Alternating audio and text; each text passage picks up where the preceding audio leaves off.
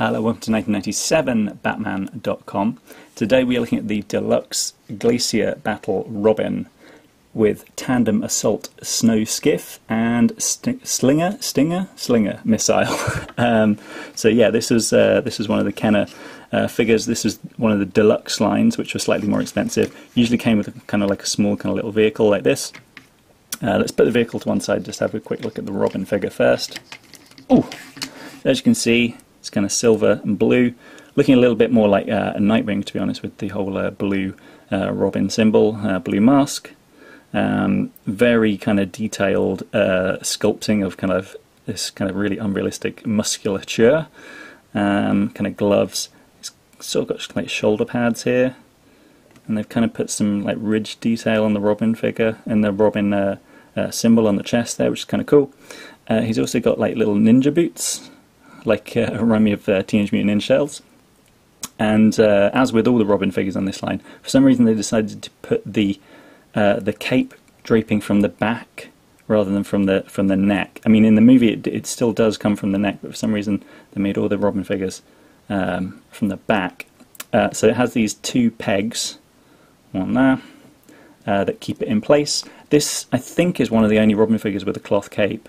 You can see, pretty see-through. I prefer cloth capes. I don't really like the uh, the plastic ones. They don't really move as much.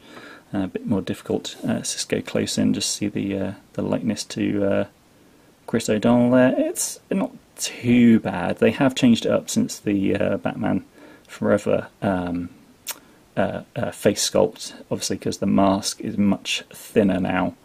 Um, anyway, there we go. So this is the vehicle that it comes with. This so snow skiff. Um, so as you can see, there's kind of like a, a kind of floppy uh, ski, one ski on the front. It's almost like a kind of tricycle kind of thing, uh, like a lot of the Kenner vehicles. And then you've got these, which sort of, I don't know, I guess if you're going kind of slightly up, hill, it sort of helps with the kind of keeping it level. There's a couple of cool things about this. One, uh, there's a few different positions you can put um, Robin in. So you can have him just sat down, his feet fit in nicely, his hands grab onto the, uh, the handles there, which is kind of cool. Uh, but he can also stand up on the skiff. Uh, he has to hunch over slightly, but it is doable.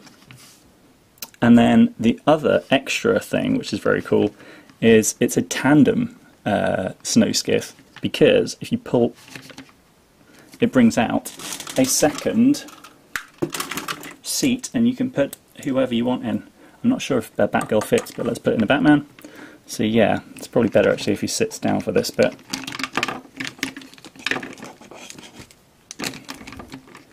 sit Robin down and Batman in the back, I guess. um, so yeah, you can turn it into sort of a tandem skiff, um, which is kind of cool.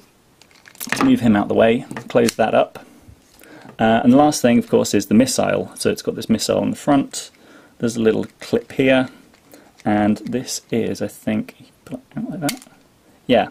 So this is how a lot of the missiles are done in the Kenner line for Batman and Robin, which is they have this ball, and it's just sort of like a pressure switch. There's no spring or anything, so it's just sort of like you clip it into place in there, and then you pull on the thing, and eventually it kind of pops it out. It's kind of a pressure switch.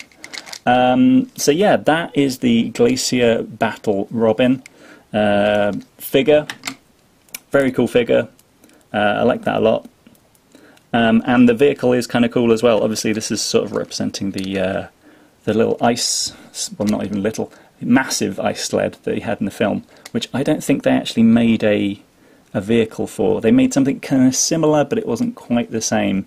I guess with Kenner, a lot of their stuff was based on concept art, so they didn't know exactly what it was going to look like. But still, this is a fun figure. Uh, I'd say if you are a Batman and Robin collector, this is definitely worth getting. Um, I've seen the figures loose, but um, yeah, in terms of getting it uh, complete, uh, it shouldn't be too hard. Um, just going to check if there's anything else that I've missed. Oh, I know this spoiler comes off the back. I don't know, maybe that's a weapon or something. It's got sort of like a little bit of a handle there. Who knows? But anyway, that is the Deluxe Glacier Battle Robin uh, from Kenner. Um, yeah, check it out.